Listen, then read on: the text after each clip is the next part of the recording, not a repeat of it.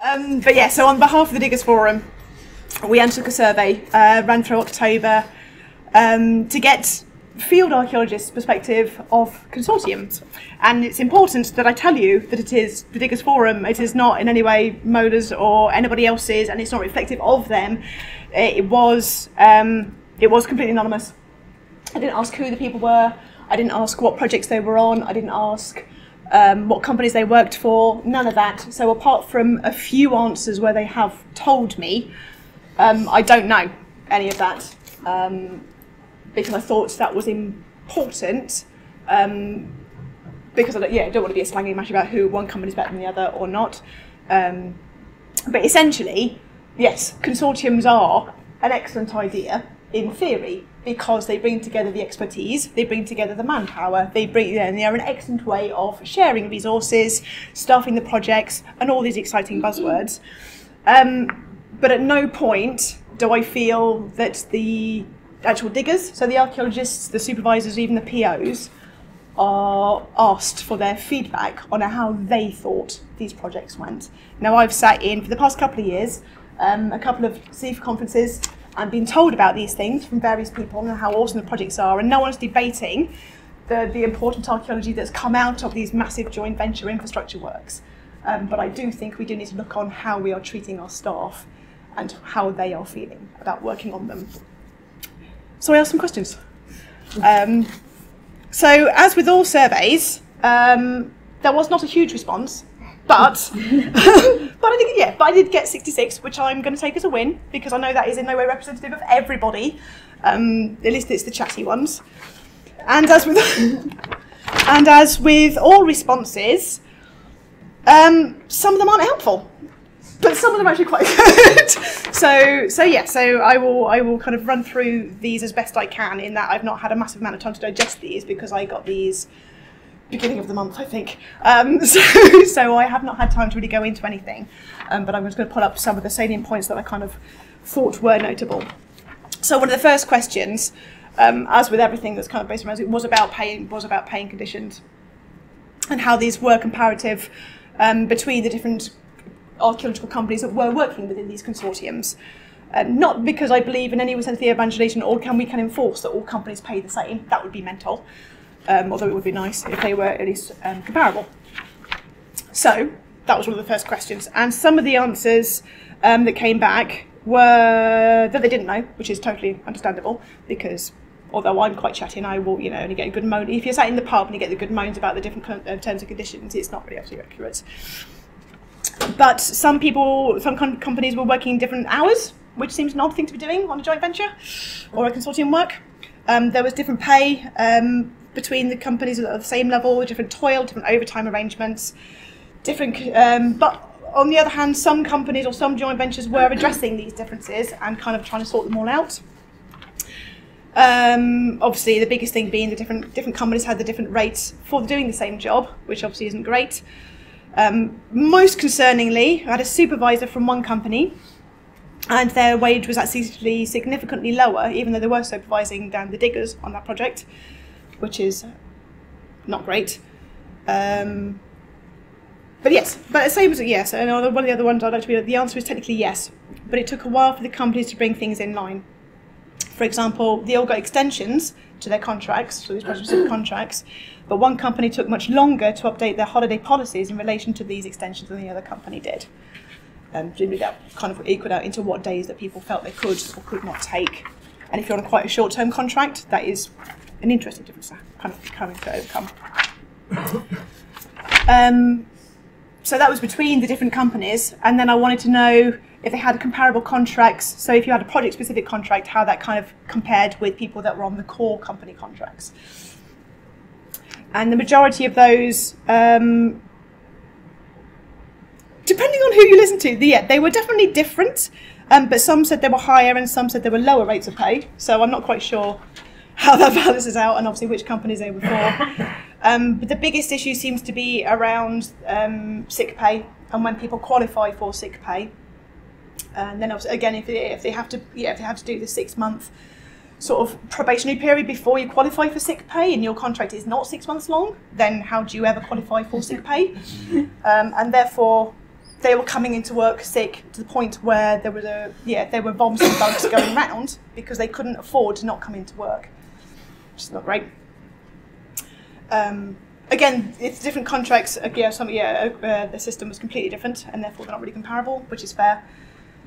Um, some of the core companies were paid less than those in the temporary contracts or the project-specific contracts, so to attract those people in, which again, you can understand the need to put the rates of pay up for specific projects if you're trying to attract a large number of individuals, but if you're then supplying core contract people to that project, it's not it's not great for morale if you're on different rates of pay for essentially the same work.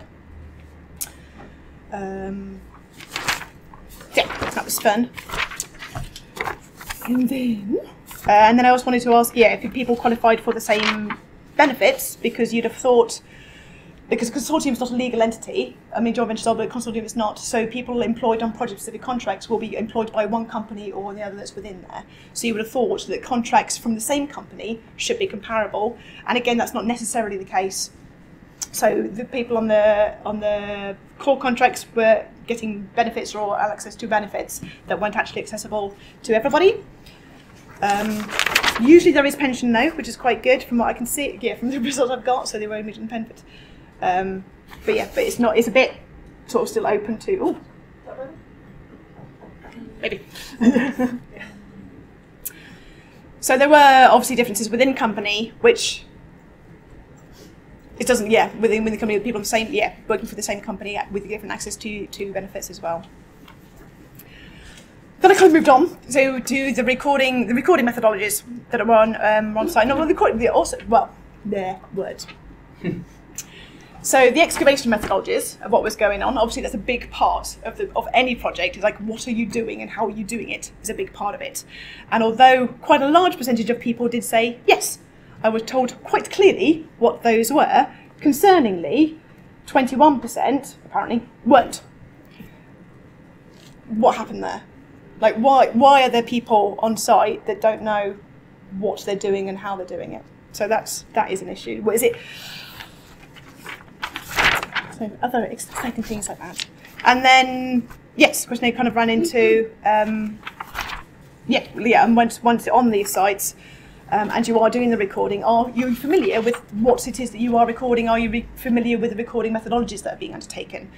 You can't just throw a whole lot of people from different companies onto a site and just expect them to know what they're doing with recording. Like, although lots of companies do use like the MOLAS guide and they're all loosely based on a similar system, you can probably figure it out in, in lots of cases, but clearly some people weren't familiar with it, and not only were they not familiar, yeah, it was a completely different system, so they had kind of had to make it up as they went along, which was concerningly an answer. Um, yeah, that they devised their own, which is always fun. Uh, X to try and work out what they were doing, which is kind of some of these knock-on effects of what, what we were up to.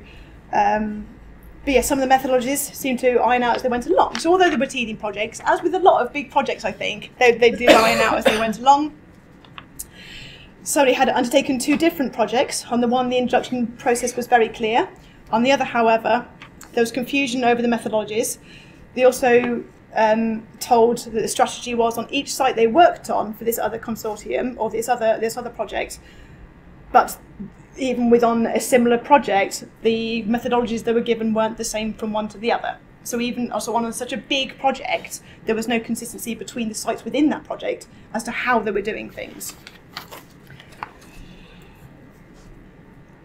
um, yeah, if it's it appears that some projects were being run depending on who was lead in that area. So depending on which site you were on within the specific project would depend on how you were recording things and what the methodologies were.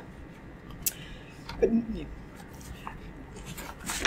that's interesting. Obviously, if there's a completely new recording system for everybody, you have to give time for people to get up to speed with that. You can't just introduce new recording methodologies and just hope for the best. Well, you can, but. do we think now?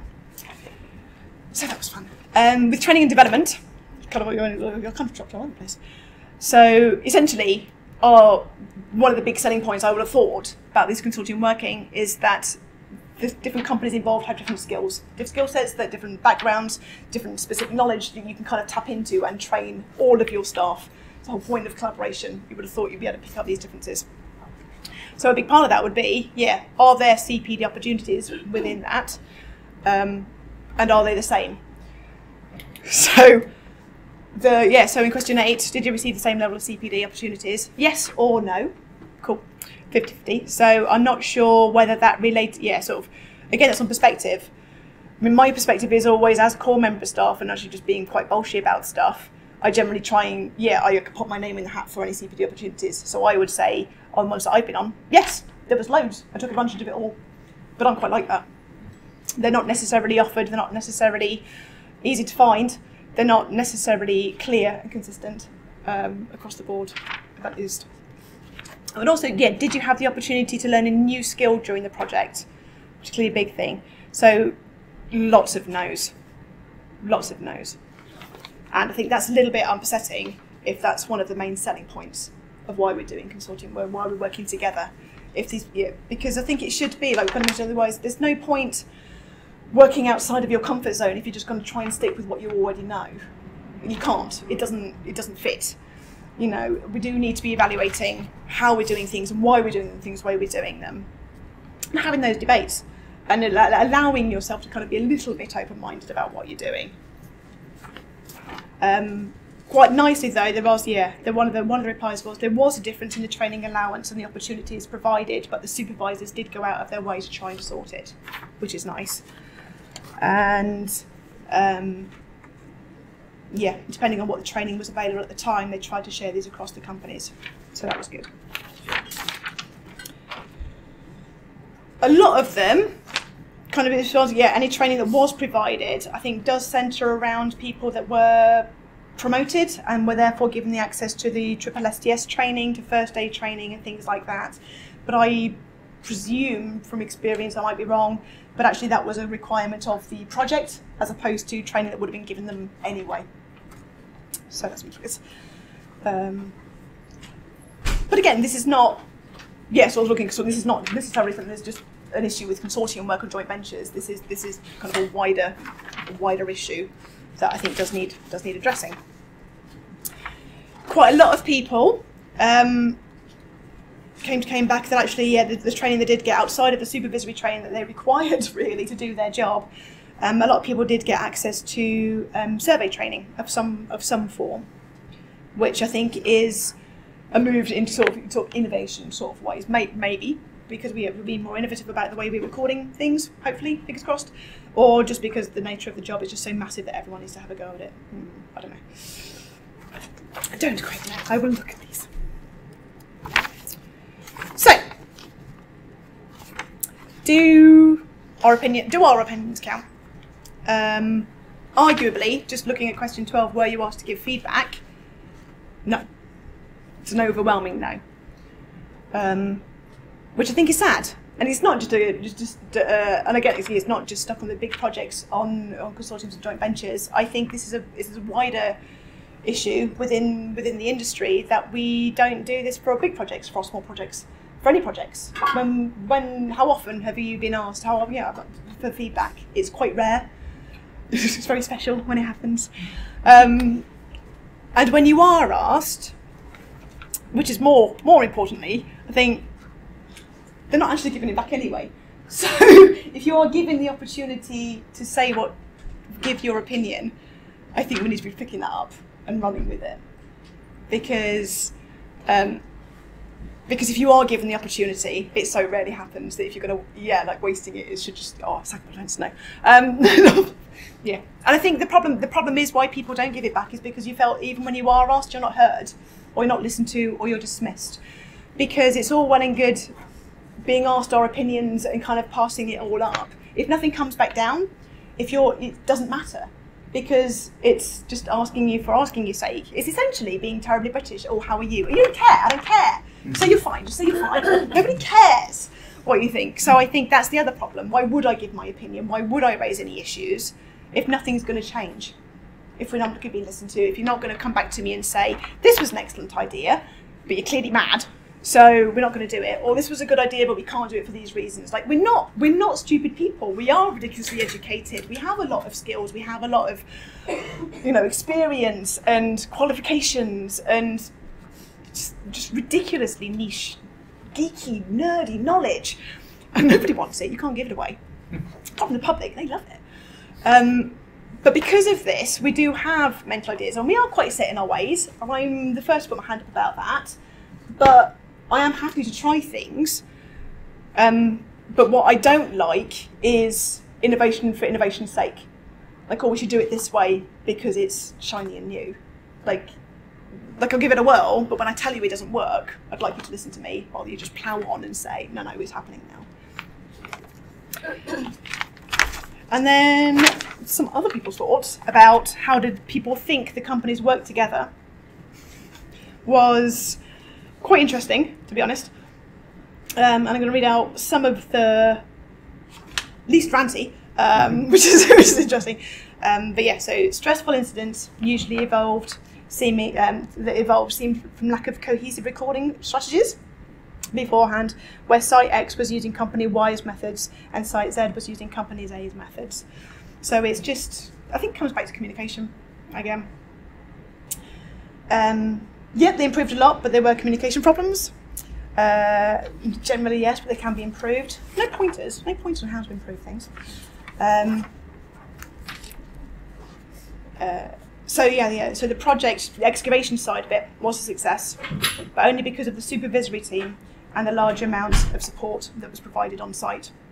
It remains to be seen if it went well with regards to the recording standards and post-ex. I think that's quite telling as well. That a lot of these answers, because because they're from the diggers, we don't we don't know as a whole normally how what we do affects later on. And I think that's another failing. It's all well and good saying, well, your opinion doesn't matter because you know what you're doing. Like, well, if you're not telling me that I don't know what I'm doing, how am I supposed to be any better?